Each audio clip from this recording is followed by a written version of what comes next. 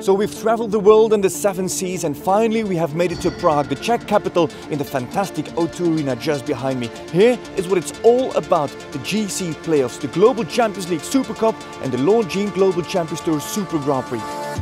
On Thursday we've got the quarterfinals, on Friday it is the semi-finals, on Saturday that highly anticipated Longines Global Champions Tour Super Grand Prix with unprecedented prize money and on Sunday the final of the Global Champions League with the six best teams battling it out for eternal fame, huge prize money. Don't forget to watch it all live here on the Global Champions website.